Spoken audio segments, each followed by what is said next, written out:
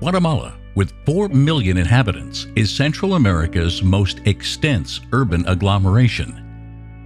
With modern residential and commercial areas such as Cayala City quickly growing, crime has also grown in such places.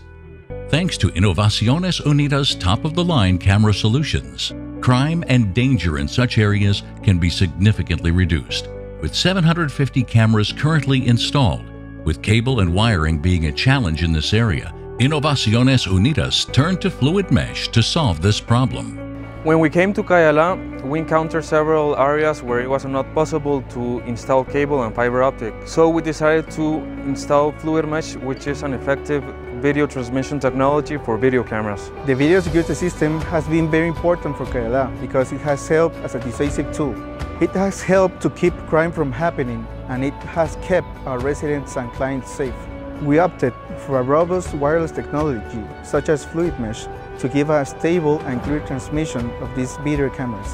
Fluidmesh brings solutions to solve even the most complicated engineering problems.